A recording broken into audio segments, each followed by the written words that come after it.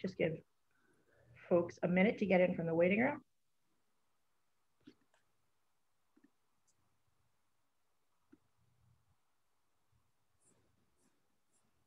As a reminder, please mute yourself. Good afternoon. This is an informational session with the Boston Cannabis Board. Today is April 26, 2021. This is the second in a series of informational sessions regarding the application process for a cannabis establishment in Boston, as well as uh, certain uh, applicable changes to the regulations. Today's hearing is being conducted pursuant to temporary amendments to the open meeting law. That is what allows us to meet virtually. Today's hearing is being recorded and will be posted along with the presentation to the City of Boston's website following today's presentation. We will begin with a presentation um, by the Boston Cannabis Board and the Office of Economic Development, after which we will take questions and answers. Please utilize the chat function if you have a question or wish to uh, utilize the raise hand function. Before we begin, I want to note that we are joined by Chairwoman Kathleen Joyce. Ms. Joyce is the Chairwoman of the Boston Cannabis Board. We're joined by Jasmine Nguyen, the Project Manager from the Boston Cannabis Board, and Attorney Taylor White with the Office of Economic Development. You'll just give me a brief moment. I will share my screen and we will begin with the presentation. I'll now turn it over to Jasmine Nguyen, who will discuss the an overview of cannabis establishments in the city of Boston, as well as the application process. Jasmine? Hello, everyone. Thank you for joining us today. So cannabis establishments in Boston, former Mayor Walsh and the Boston City Council passed an ordinance establishing the Boston Cannabis Board, also known as the BCB, which is the authority that's tasked with siting cannabis establishments. The BCB consists of five appointed individuals tasked with ensuring equity and the issuance of cannabis licenses, both in terms to whom they are issued to and where they are issued in the city of Boston. Um, pursuant to Mass General Law, Boston must say a minimum of 52 retail recreational dispensaries. This number excludes other cannabis uses such as medical, cultivation, laboratory, manufacturing, and delivery. So this is an overview of our application process. This will be online too, because if you look at it, I know it's a lot of information. so the first step is to submit an online application to the BCB. Um, what we are really looking for with the application is obviously the completed online form. Um, you have to disclose all your direct and indirect beneficial interests. Even if a person holds 0.1%, they must be disclosed. And we need a legal right to occupy a space. Um, so that would be a deed, lease agreement, or a letter of intent. And the reason why we will accept a letter of intent because we know that's an entry barrier and barrier to entry.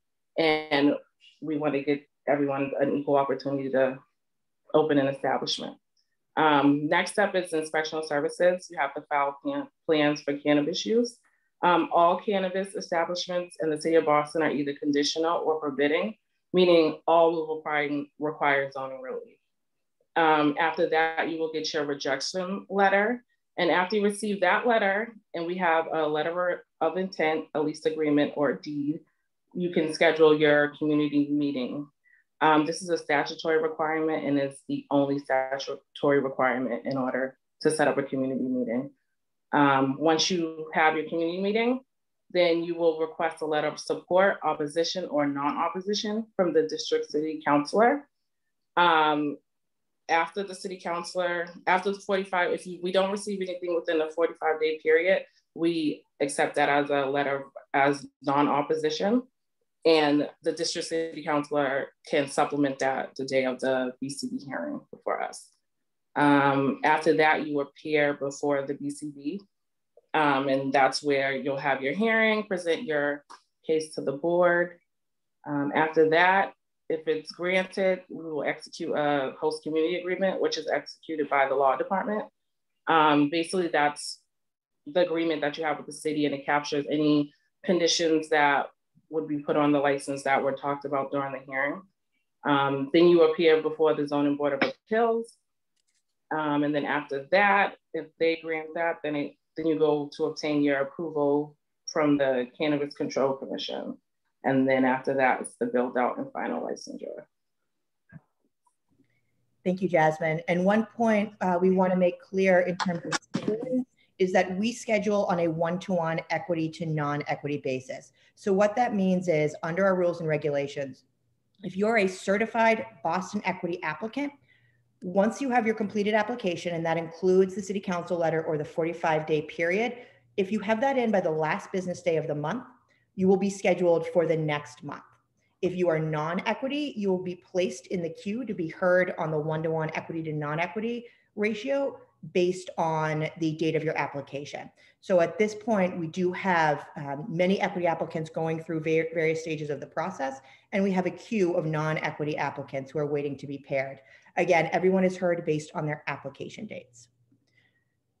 When evaluating an application before the board, each commissioner reviews the very specific um, requirements for evaluating an application that are outlined in the ordinance that actually created the BCB.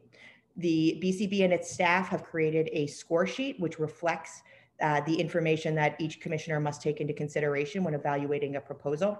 That score sheet and the supporting guidance are also found on the website. Every application is evaluated based on its individual merits pursuant to the ordinance.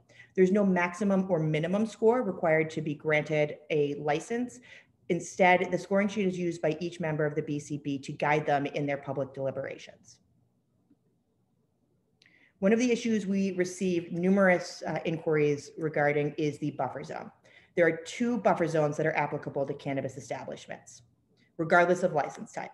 The first is the school buffer zone. Pursuant to Massachusetts general law, a cannabis establishment cannot be located within 500 feet of an existing public or private K through, K through 12 school providing education.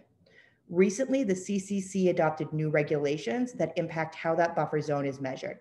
Previously, it was measured 500 feet from lot line of the school to lot line of the proposed cannabis establishment.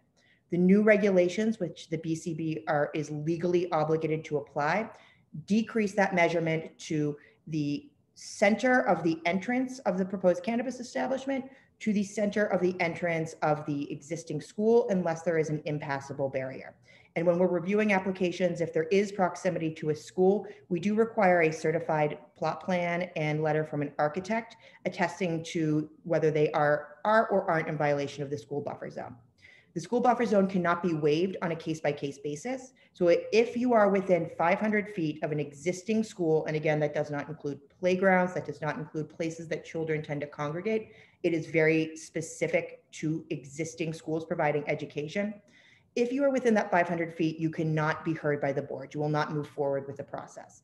However, if you are not within that 500 feet, regardless of the proximity otherwise, whether it's 501 feet to an existing school, you have a due process right to go through the go through the full process and appear before the board.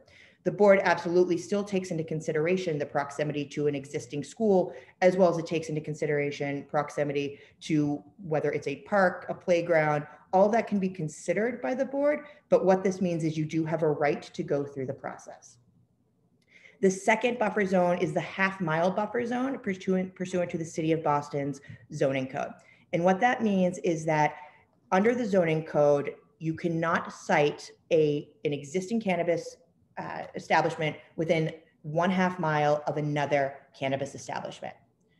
Obviously, given the fact that Boston has a minimum of 52 rec- uh, recreational retail dispensaries that it's legally obligated to site, it would be impossible to site that many in Boston with the half mile buffer zone. So what the board has done is that it has adopted into its rules and regulations a heightened level of scrutiny because if you are granted a cannabis establishment within a half mile, when you go to the zoning board of appeals, in addition to the underlying use, you also have to obtain a, a variance for the half mile buffer. So the board has adopted a legal standard that mirrors the ZBA standard for a variance. And what that means is when the board's determining whether this is an appropriate site, they look to whether it's an appropriate site, even given the fact that there is an existing cannabis establishment with a half mile. And the board has granted a number of buffer zone variances in applying this heightened scrutiny moving forward to what I think a lot of people are on the call today to hear about is the, are the two new cannabis delivery license types. We've received a number of questions about this. Um, and please trust us that we're learning with you. Uh, we've worked really closely with the CCC and we're very fortunate to have great partners there um, to help us as we're learning about these two new license types. So there are two new license types as promulgated by the CCC, the cannabis courier model and the cannabis delivery operator. The CCC has implemented a two-step review process for approval of any delivery application. What that means is even before you've gone through the process with the BCB at the local level, you can apply to the CCC for pre-approval. This, again, this doesn't guarantee that you're going to be approved at the local level. However, this can streamline your process at the state level because they will review your background information to determine whether you are an appropriate candidate for a uh, delivery license. Following the pre-approval process, you go through the local process. In this case, that is the BCB. After which, you can, if you were granted a license, you can move forward with the final approval uh, at the CCC level. And what's really important to note is that only existing economic empowerment and social equity applicants are eligible for delivery licenses for the next three years. Please, and again, please, uh, if you are on, please mute yourself. Um, it's important to note that economic empowerment and social equity are distinct from the Boston Equity Program. And you cannot be, you, you cannot apply for a delivery application simply because you believe you qualify as EE or SE, you must actually have that certification and the board will request that. The applications for economic empowerment at the state level are closed and I do not believe at this time there is the intent to reopen that.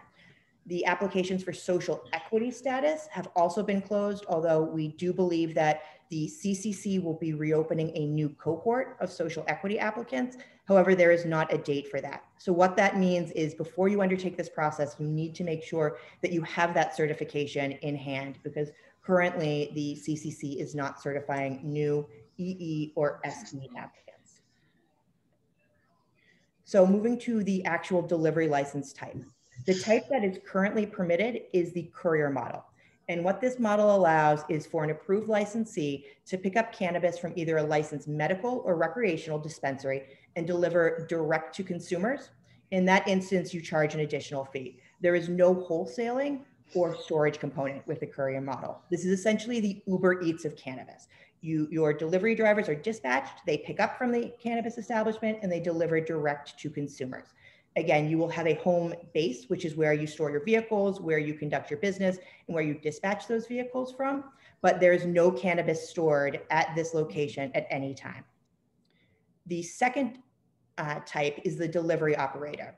And what this model allows is for an, an approved licensee to pick up recreational cannabis, no medical, at either a cultivation or a manufacturing site or from a uh, dispensary and it allows you to store, repackage, and sell that cannabis from your wholesale location. And when we say re- repackage, that's what you will uh, is commonly referred to as white labeling the product. So if I have a deliver delivery operator model, I can go to a wholesale, I can purchase cannabis in bulk, bring it back to my site where I'm storing the cannabis. I can relabel it as whatever my business um, my business is, and then I sell direct to consumers. Right now, that license type does not exist. It has been adopted by the CCC and the CCC staff is diligently working on creating the application for the delivery operator, which also is commonly referred to as the wholesaler model. But that, light, that application does not exist yet, uh, but it will be online by August at the latest. And we will, um, we will keep everyone up to date as we get more information, and I apologize, uh, my dog, as we get more information about when that application will be going live. However, in the meantime, we're happy to discuss any uh, questions with applicants about this license type, even though you can't currently apply. Um, it also worth noting that the courier model and the delivery operator model may be co-located at the same facility. However, those are two separate processes unless you're undertaking them at the same time. So if you start now with the courier model and in six months want to go to the delivery uh, operator model, that will require a new community process, a new hearing before the board, and a new host community agreement. The BCB at its April 28th voting hearing will consider a draft amendment to its rules and regulations that would require any dispensary within the city of Boston to obtain approval prior to engaging with a delivery licensee. Uh, should the board make a motion to move forward with this draft amendment, it would be open to a public comment period and a hearing would be held. The reason for this is currently the way that delivery operates. If you have a delivery license in another city, you can come into Boston and obtain your product from any of our dispensaries or manufacturers and deliver direct to consumers either in Boston or outside of Boston. We have no regulatory authority over those licensees that are not sited within the city. And what the thought of this draft amendment is, is it would give us more control in ensuring that the dispensary has everything in place to properly run a delivery program.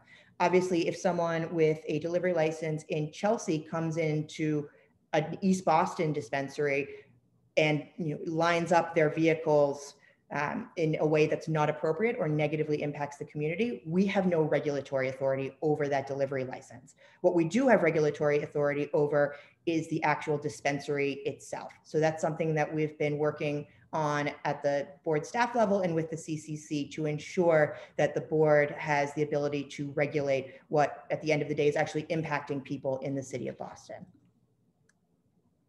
And I'm now going to ask Attorney Chayla White with the Office of Economic Development to provide some information about the equity program.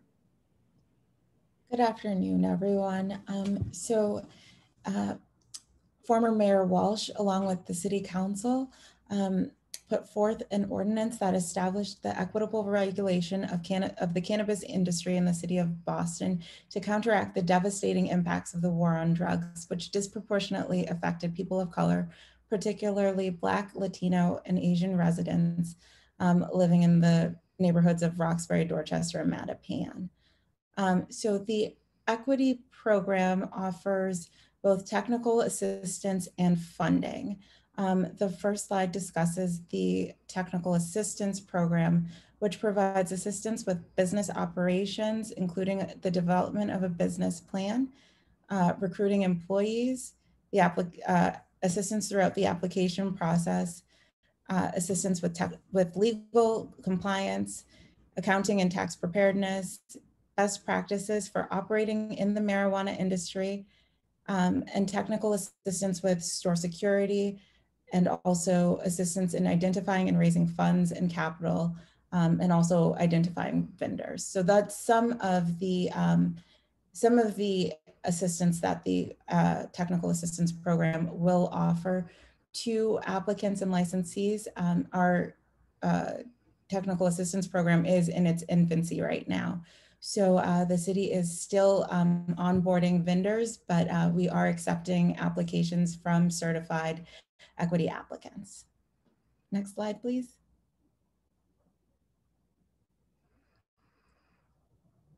Okay, and then we have the equity fund. Um, so the equity fund similar to the technical assistance program, is only um, available to certified applicants, um, certified equity applicants. Uh, right now, we have a limited amount of funding that is available um, for things such as rent, um, salaries. Um, the only thing that really isn't included would be anything that could be resold. So uh, the funding does not cover things such as product or uh, paraphernalia. And uh, I can answer any questions about the equity program or the equity fund once the question period starts. Thank you, Shayla. Um, and we know that's a lot of information. We, we are going to be posting this uh, PowerPoint as well as um, the recording of this hearing to the website. And again, the, the board staff is always here to answer any questions. Um, we will now open it up to uh, any questions. You can either utilize the chat to request to speak, or you can use the raised hand function with any questions you have.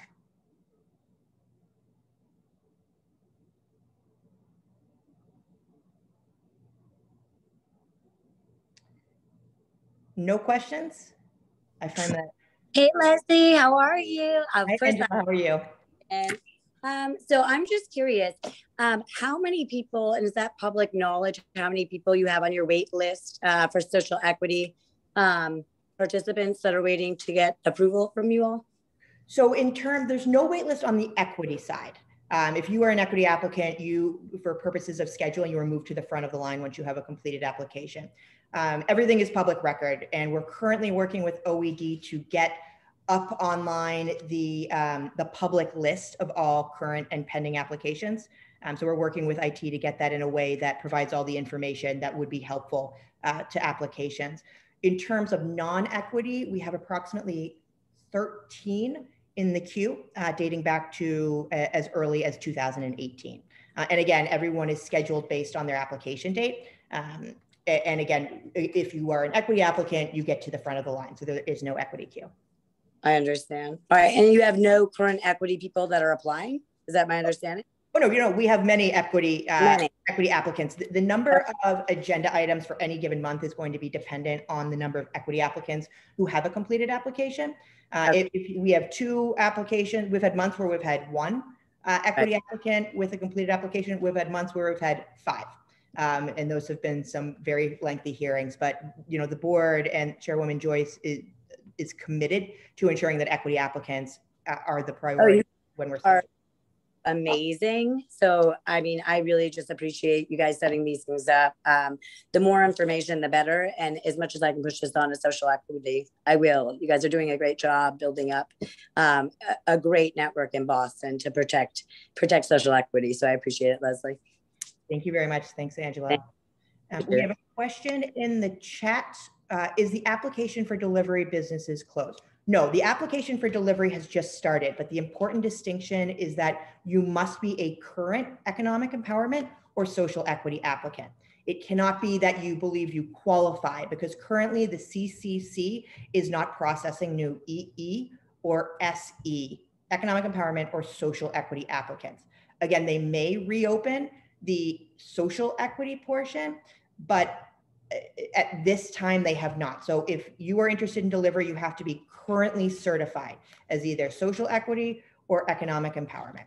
Um, and I should have noted previously with equity applicants for delivery at this stage, while they do go to the front of the line in terms of scheduling with the courier model, and we actually just heard our first courier delivery applicant, we do not count them for purposes of the one-to-one equity to non-equity ratio, meaning that an equity applicant for courier delivery only is not paired with a non-equity applicant. And the reason for that is that the Boston City Council has undertaken um, a, a, potential amendment to the ordinance that would carve out those courier delivery models. And, and not to speak for the council, but I believe the concern is the courier delivery has a very low barrier to entry um, and that's intentional. And that's part of the reason that, that for the next three years that it's only equity, social equity and economic empowerment. But obviously you don't want only equity applicants to have the courier model and non-equity applicants to have a uh, recreational cannabis dispensary.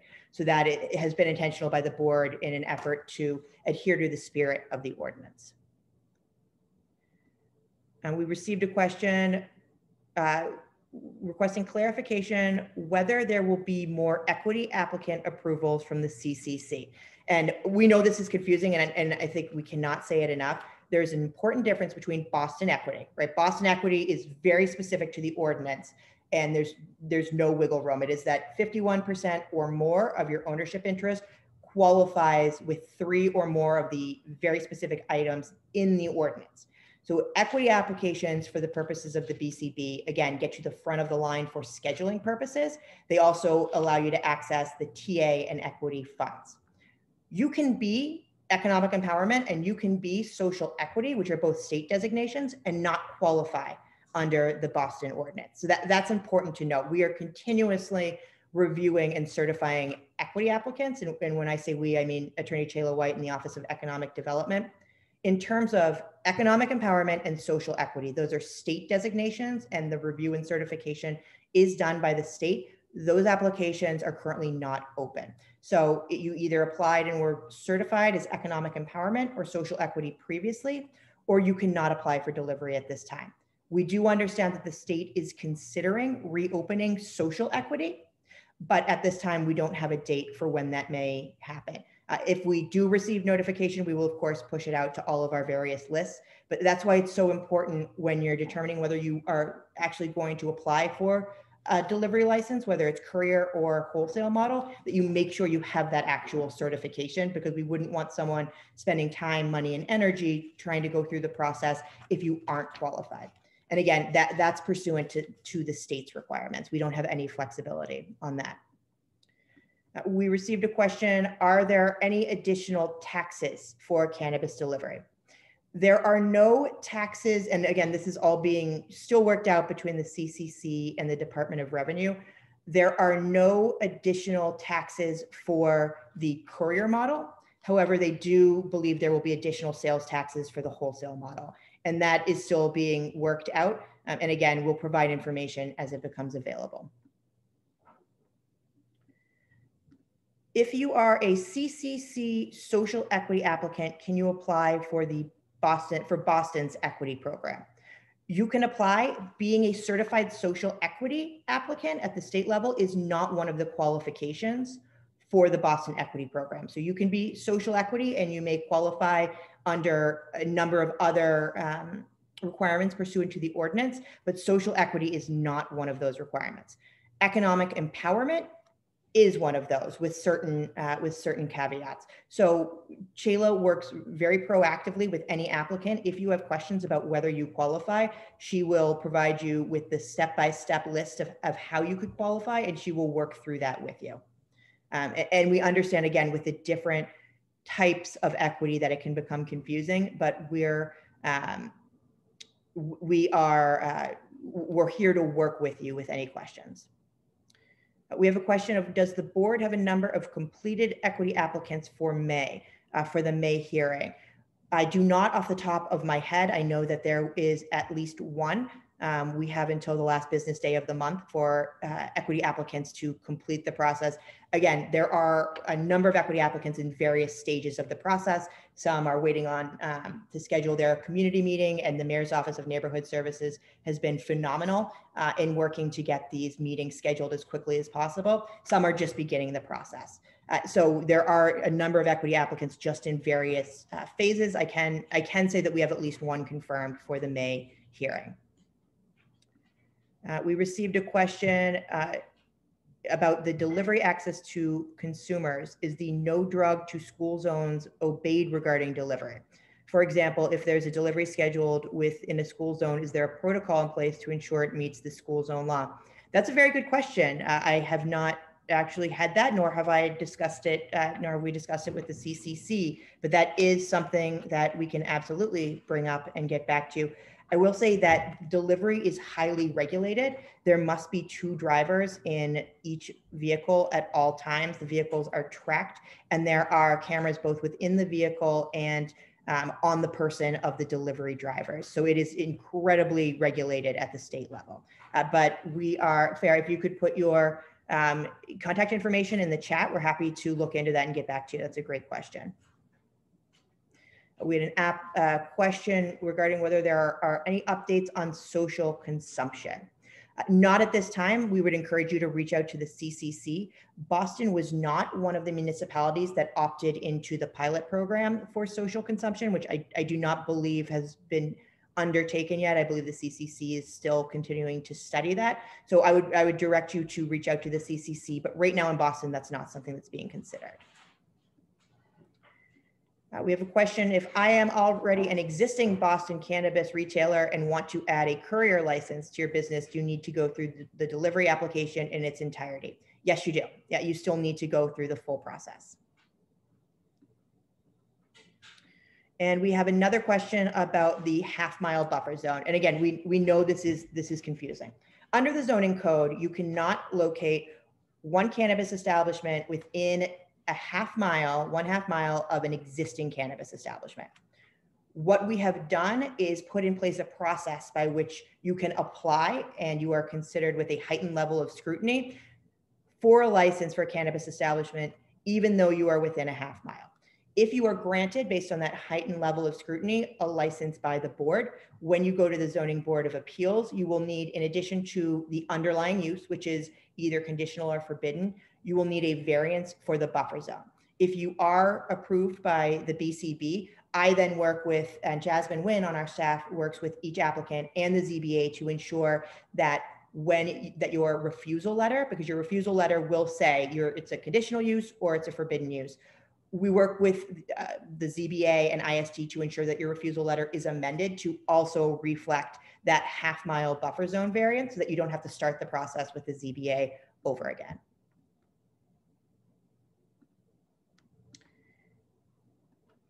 And let me just look. I, see that John Buxton has his hand raised. John, would you like to unmute yourself? Yep, thank you very much.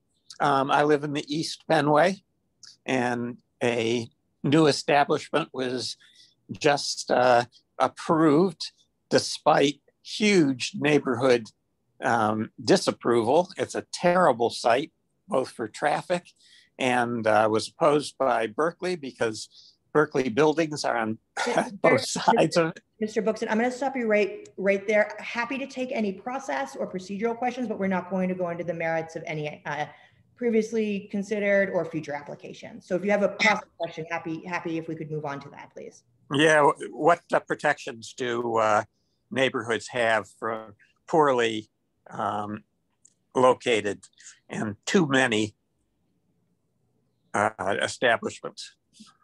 And the, the BCB takes every uh, applicant and considers it on its individual merits. 20% of what the BCB is tasked with considering is community feedback and public support. So that's absolutely one of the things that, that uh, this board considers. The city of Boston is legally obligated to site a minimum of 52 cannabis establishments in the city. And that does not include medical, that does not include uh, lab testing, that does not include delivery, that does not include manufacturing. So the BCB is tasked with ensuring these are appropriately sited in terms of time, place, and manner. Thank you. Thank you. Um, we, we have a question. Someone has a specific question about whether he apply, uh, he, whether he qualifies for the equity program. Uh, Dwayne, I would encourage you, uh, we'll put the contact information in the chat to reach out and we're happy to uh, review your um, you, whether your qualifications. Um, we have a question, can people have cannabis delivery to open space? Absolutely not. Uh, you absolutely cannot, it has to be delivered to an actual physical location and that is very closely tracked. Um, we, again, we received another question about a specific application. Um, John Mack, please reach out directly to the board and we can uh, advise regarding the status of that. Those are all the questions in the chat. Are there any other questions? Just want to make sure no one has their hand raised who have missed. If you have a question and I have not called on you, you please feel free to unmute yourself.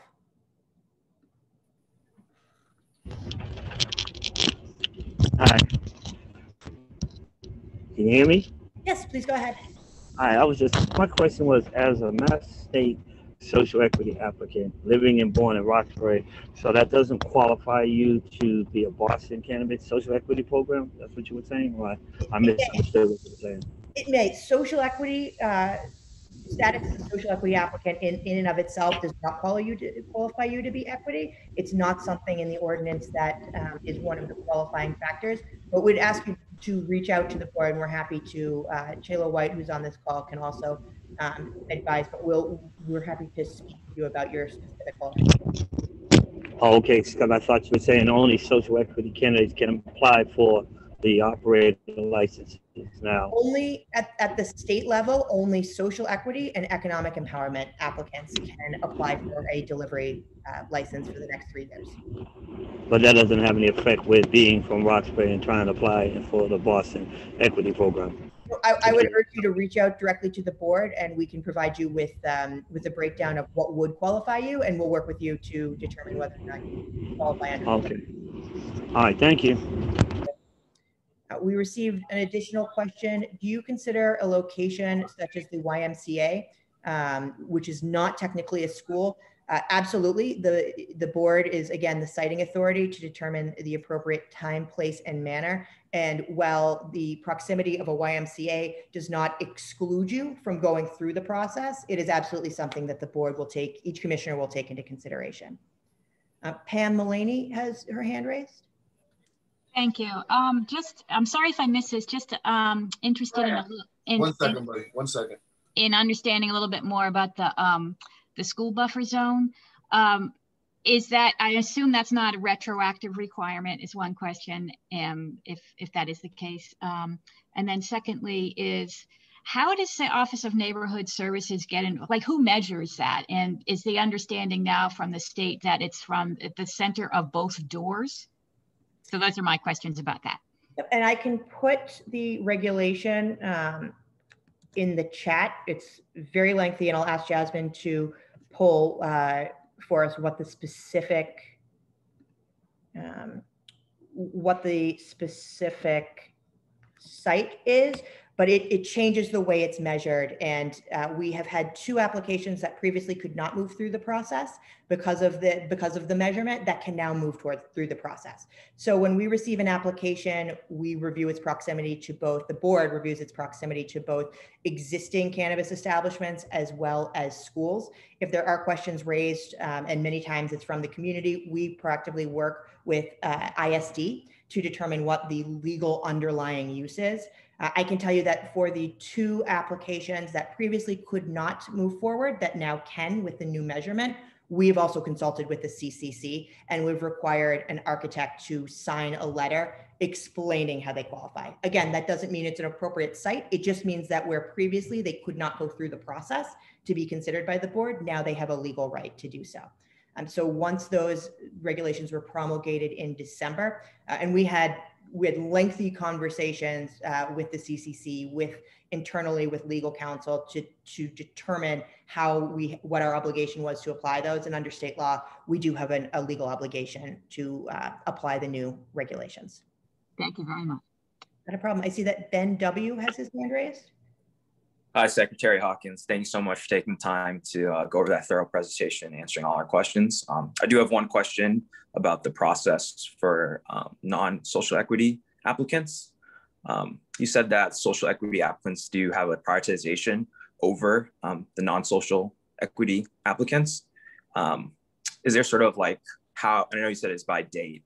So um, say if you apply later, like how is the date determined? Like if you get all the completed documents, um, is like first come, first serve, or is it determined maybe because I know there's some priority review for the CCC has a priority review for some applicants. So does it depend on that as well?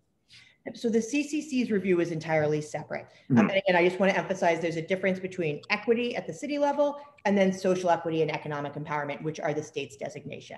At the city level, if you are a certified equity applicant, once you have a completed application, you are put in line for the next hearing. And those application dates, uh, those dates that, that the board looks to are the date of your initial application, the date of your filing with inspectional services, and when you've completed uh, the process. And, and, we try and do this in as transparent as and predictable a way as we can. Uh, when we're looking on the non-equity side, again, it's the same series of dates that we look at. It's just that with a one-to-one ratio, we have more non-equity who've been in the queue than we have had equity to date. And again, we have equity applicants coming in, new applications on a regular basis. We encourage everyone to apply, whether you're non-equity or equity. But in terms of scheduling, when you're in that non-equity queue, we look to when you applied, when you filed with ISD, and when you completed the process to ensure that you're you're placed in the queue in, in an appropriate manner. Understood. Thank you. And is there any more information on that one-to-one ratio? like on their website? Yeah, it's found, it's in our rules and regulations and it's Okay. also found in the ordinance that created the board. Awesome. Thank you so much. Hope you have a great day. Not a problem. Um, we have a question for equity applicants that have been approved. How can we access technical assistance? Uh, reach out to the board and we will put you in touch with uh, Midori Morikawa from the, the interim director of uh, the Office of Economic Development, as well as Attorney Chayla White, and we can um, eh, we can help you access those funds. As Attorney White stated, this program is in its infancy, so it's not as though there is um, an endless amount of funds, but we you know, we do want to be as helpful as possible in connecting you with that. So please feel free to reach out. Uh, we received another question about the half mile buffer zone. Is it, is the half mile buffer zone measured by a straight line? Yes, the half mile buffer zone is measured by a straight line. That is different again from the school buffer zone, which is a creation of state law and the CCC. The half mile buffer zone is limited. That's a creation of Boston. That's something that only exists here in Boston. Are there any other questions? All right, again, Um, yes, I got one more. All Can you hear me? yes, we can hear you. Okay. Once you put your application in, how long does it usually take to get approved as a social equity candidate? Uh, The, the equity, uh, the review of of Boston equity, i- it's essentially how quickly you provide all the requested documents. Uh, Attorney White is regularly reviewing these. um, But we, we can't, we can't predict how long it's going to take you to be able to give the documents that we legally need in order to certify you. So everything's on a case by case basis. Because I was wondering, you, the first phase, was you submit it, then you go to the next step. So after you submit it to the time it's actually completed, you know how long it usually It, everything, everything is on a I missed that. We, we have people who apply and they immediately provide all the necessary documentation to be certified. And then we have people who, um, who have not, have asked the equity and have not provided documentation. So a- again, it, it's, it's a thorough review process. Um, but it, we can't predict how long it will take. We, we move as quickly as, as the applicant moves. Uh, we have an inquiry, how many shops are allowed in each district? There is no minimum or maximum. Um, based on the, the number of 52, these are going to be sited in every city through, or in every neighborhood throughout the city. And uh, part of what the board is tasked with, again, as, as Jasmine Wynn noted, is um, equity both into whom these licenses go to and how they're distributed. The, the ordinance very specifically, and the board very specifically does not want to see one neighborhood housing all of these, but there will be multiple establishments in every neighborhood.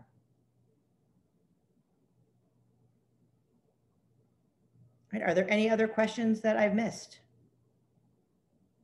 Right, well, thank you all. We, um, we greatly appreciate everybody logging on and we will do another one of these um, in the near future. Uh, this again will be, has been recorded and will be posted to the city's website along with the PowerPoint.